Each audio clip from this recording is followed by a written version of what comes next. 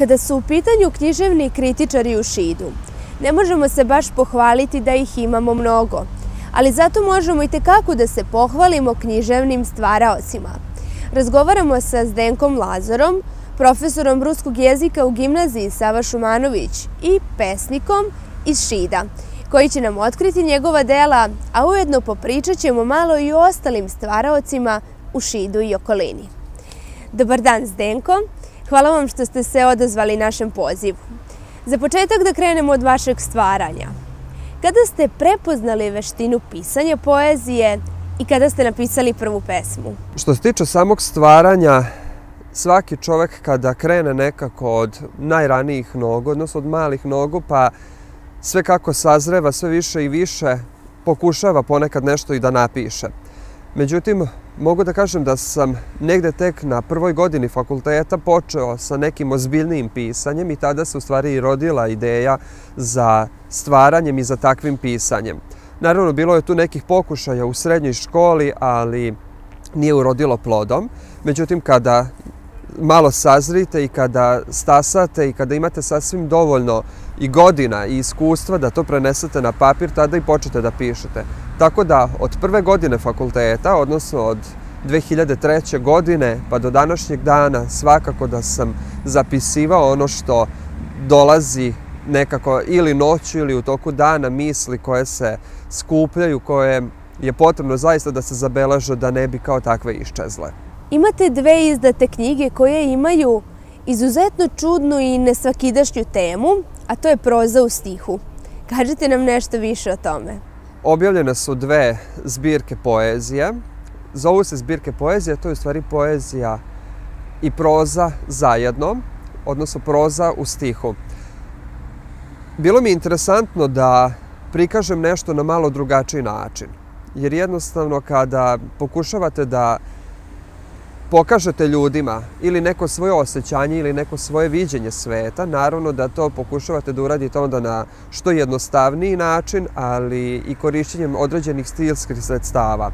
Ja sam se opredelio za ovakav način zato što mislim da nekako dublje i bolje izražava ne samo emociju, nego i viđenje sveta oko sebe i sve ono što nekako ljude povezuje u jednu kompaktnu celinu. Zato sam se i opredelio za ovakvo, jer mislim da naravno da se slika i poezijom, ali i prozom mogu da se oslikaju još bolji pejzaži koji ne moraju da budu pravi pejzaži u pravom smislu te reči.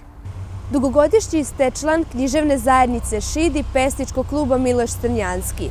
Iako niste kritičar, kakvu vrstu poezije volite da čujete od vaših kolega, a koja vam, što bi se reklo, ne legne na srce? Poezija mojih kolega svakako moram da pohvalim sve moje kolege, sve, moje, e, sve stvaraoce i sve moje prijatelje koji se opšte bave pisanjem, beleženjem e, lepih reči na papir. Nije to ono stvaranje da papir trpi sve, već zaista pravi biseri umetnosti, književnosti i stvarala što su zabeleženi na tom istom papiru. Poeziju koju volim svakako je rodoljubiva, volim i ljubavnu poeziju, ali i refleksivnu. I svakako, kada čitate, jednostavno možete da se prepustite. Ne samo poeziju, volim i prozu. I prozu čitam mahom i u većini slučajeva, jer rekao sam, pesničke slike su nekako najbolje i upravo ona sredstva koja koristimo prilikom stvaranja i pisanja su jedno od boljih sredstava koja čoveka nagna da pročita određeno delo, da pročita određenu pesmu. I na takav način ne samo da izrazimo sebe, nego i pod navodnicima kupimo druge da čitaju ono što mi pišemo. Pretpostavljam da ste bili na ovogodišnjem sajmu knjiga. Šta možete da kažete o izdavačima i knjigama i koje su se knjige našle u vašoj torbi? Naravno da jesam bio na sajmu knjiga. Idem svake godine, organizovano sa školom, ali i privatno.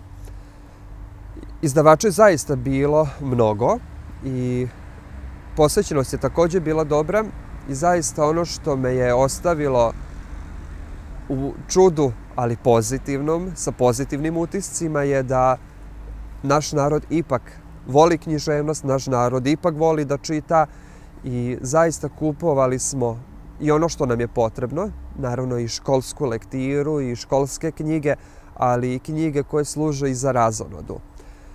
U mojoj torbi ili ti u mojoj kesi sa sajma knjiga našao se prvenstveno pisac koga ja jako volim.